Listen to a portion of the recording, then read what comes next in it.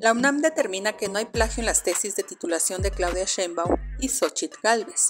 La máxima casa de estudios señala que las denuncias sobre supuestas irregularidades en estos casos están enmarcadas dentro de la contienda político-electoral del próximo año, en la cual la UNAM no puede ni debe verse involucrada.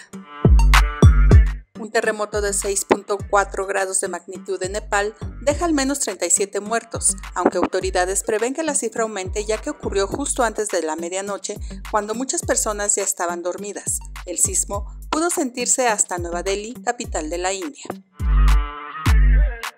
El equipo mexicano de natación artística gana medalla de oro durante los Juegos Panamericanos 2023 y consigue su boleto a los Olímpicos de París.